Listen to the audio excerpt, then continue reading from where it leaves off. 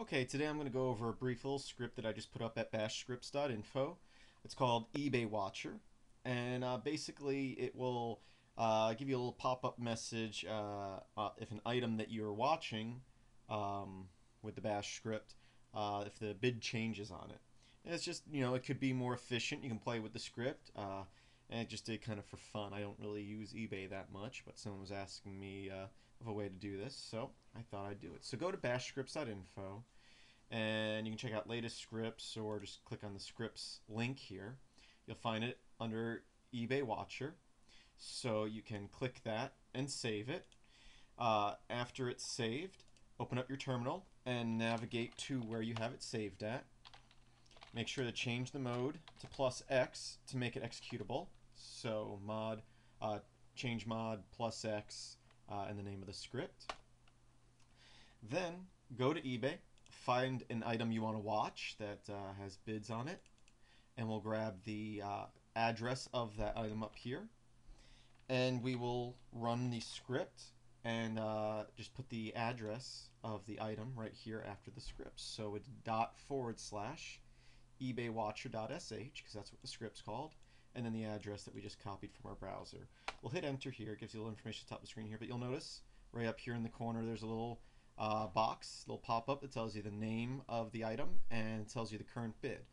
Now what the script does is every 30 seconds it checks that site again and looks at the price.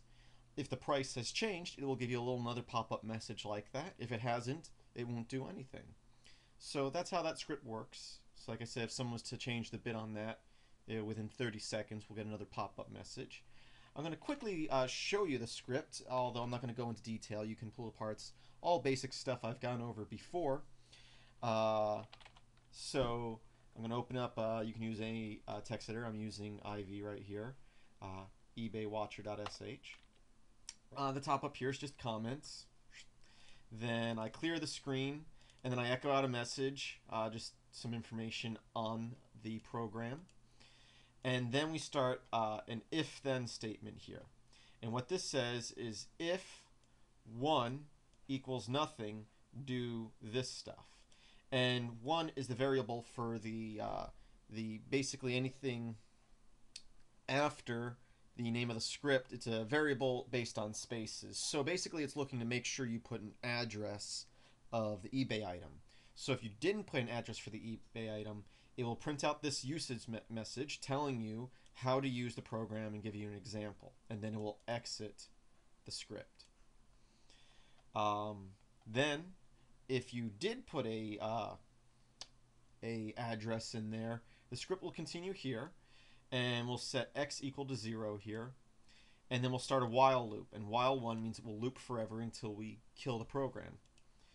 And what it's going to do is it's going to set three variables it's going to set the title. So basically, I'm using curl here to grab the web page, uh, the information of the item, and I'm using sed to cut apart that page and find the title of that page, which is the name of the item, basically.